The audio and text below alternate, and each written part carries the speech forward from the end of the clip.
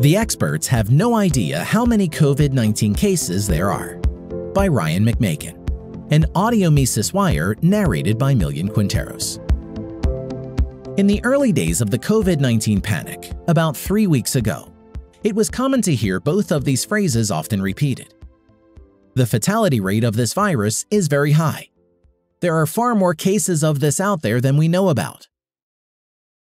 The strategy of insisting that both these statements are true at the same time has been used by politicians to implement lockdowns that have forced business to close and millions to lose their jobs. For instance, on March 12th, Ohio Department of Health Director Amy Acton insisted that over 100,000 people are carrying this virus in Ohio today. The state began to implement stay-at-home lockdown orders that day. At the time, the World Health Organization, or WHO, the media, and others were reporting that 2 to 4% of people with COVID-19 would die.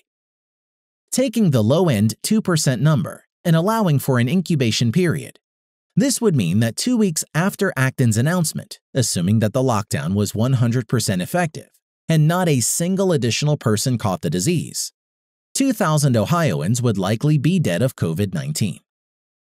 But as of April 17th, more than a month later, and after a month of the disease spreading through grocery stores and other essential areas of commerce, about 418 Ohioans have died of COVID-19. Clearly, something doesn't add up. At the time, Acton was lampooned by some for presumably inflating the number of infections in the state. Indeed, the very next day she backpedaled, saying she was only guessing. As more research comes in, however, it may be that Acton wasn't wildly inaccurate in her guesstimate after all. Medical researchers and epidemiologists are increasingly claiming that the COVID-19 virus has spread much more quickly and is much more prevalent than has long been assumed. And if that is true, then the percentage of people with COVID-19 cases that result in death are far lower than is assumed. If so, Acton was still wrong, but she was more wrong in her assumptions about fatality rates than about total cases. Here's why.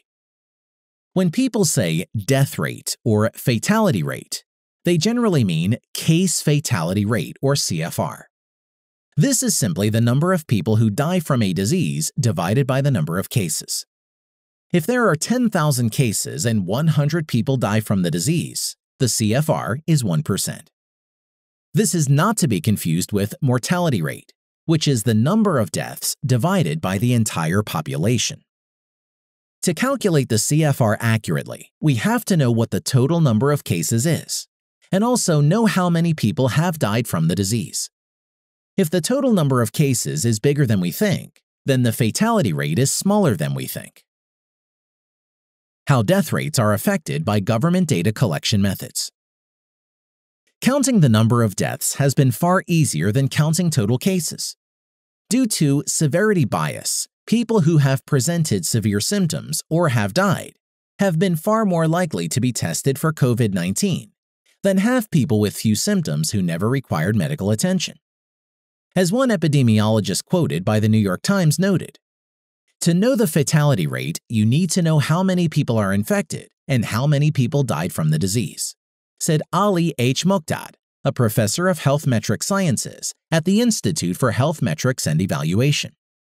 We know how many people are dying, but we don't know how many people are infected. Some deaths, of course, are missed, especially among those who die at home. But as the Times article concludes, the missing data on deaths in the deaths to infection ratio is still almost certain to be dwarfed by the expected increase in the denominator when the total number of infections is better understood, epidemiologists say. The statistic typically cited by mayors and governors at COVID-19 news conferences relies on a dataset that includes mostly people whose symptoms were severe enough to be tested. Put another way, the case totals often cited by politicians are nothing more than wild guesses. Indeed, many researchers and other observers have claimed that total cases numbers were considerably higher than was known from testing. Vermont could have 16 times more infections than officially reported, one March 18 headline reads. But this estimate doesn't apply just to Vermont. The headline comes from a nationwide estimate of cases from Stanford epidemiologist Steve Goodman. Goodman says the 16 times multiplier is a rough, back of the envelope hypothetical based on current knowledge of how the virus is spreading in other places. It assumes that one in four people who have COVID 19 are symptomatic enough to be tested. Another researcher, Samuel Scarpino, a Northeastern University professor who specializes in infectious disease modeling, told the Globe that the U.S. has identified only between 1 of every 10 cases and 1 in 30 cases.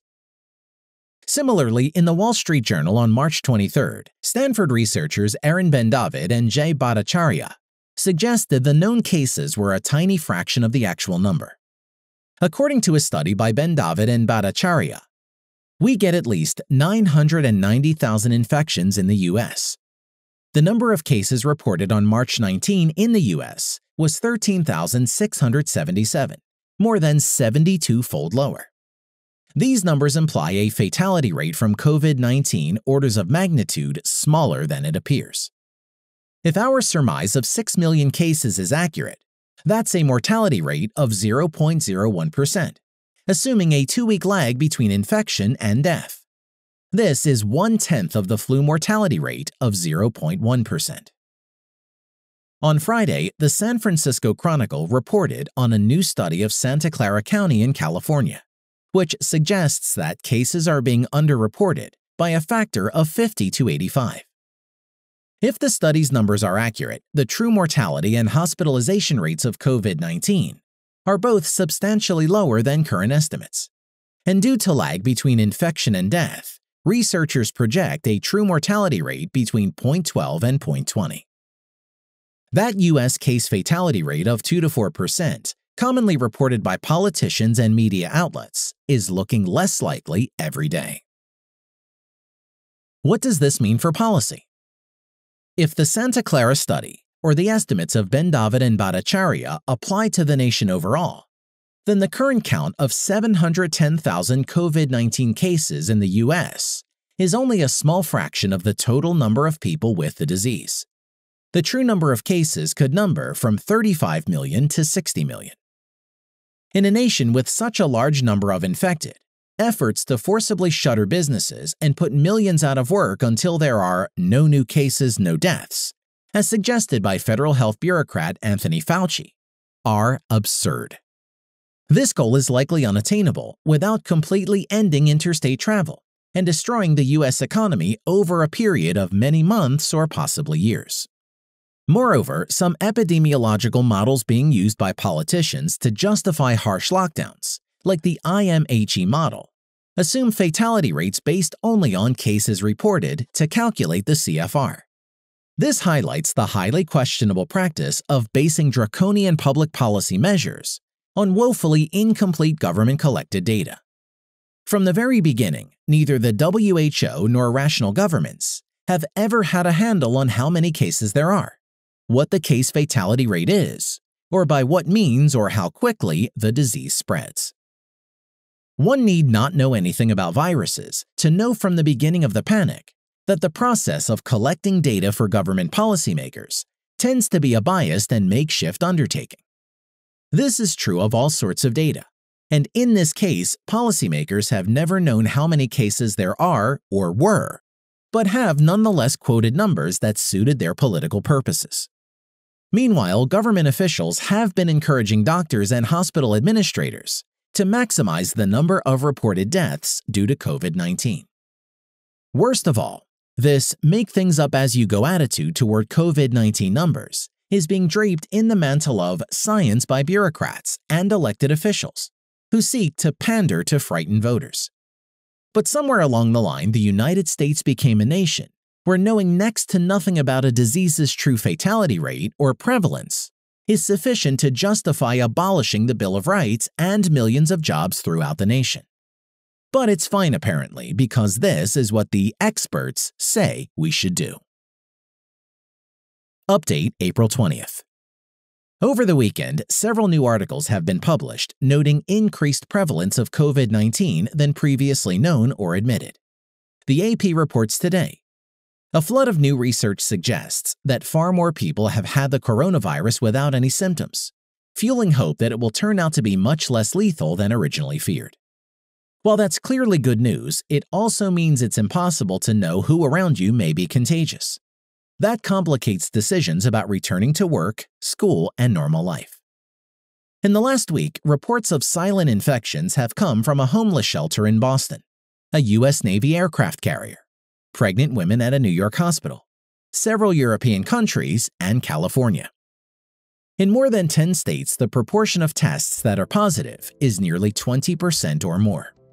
But even this may be too low, since tests may return false negatives nearly one third of the time. Meanwhile, one new study in Massachusetts found one third of people randomly tested on the street tested positive for COVID 19.